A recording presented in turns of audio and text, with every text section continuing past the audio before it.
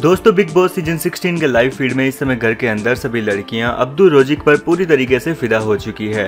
जी हाँ दोस्तों, आपने बिल्कुल सही सुना। हालाँकि दोस्तों, अब्दुल रोजिक पर तो वैसे भी सभी कंटेस्टेंट अपनी जान लुटा देते हैं, क्योंकि अब्दुल एक तो दिखते इतने क्यूट है ऊपर से उनकी जो इतनी प्यारी प्यारी बातें होती है, उन्हें सुनने के बाद हर कोई अपना दिल उन पर हार बैठता है। और कुछ ऐसा ही सीन अभी बिग बॉस के लाइव फ़ीड में हो रहा है, जहाँ पर अब्दुल रोजी घर के सभी कंटेस्टेंट से पहले, यानी कि सबसे पहले नहा धोकर पूरी तरीके से तैयार होकर जब घर की लड़कियों के सामने आए तो गार्डन एरिया में बैठी निमृत टीना वगैरह उसके लुक को देखते ही उस पर फिदा हो गई। निमृत ने तो कह दिया कि यार इस लड़के का इतना सा है, लेकिन इसका ड्रेसिंग सेंस कितना अच्छा है। ये कपड़े कितने अच्छे पहनता है, जूते कितने अच्छे पहनता है, अभी भी देखो इसकी ड्रेस कितनी प्यारी लग रही है।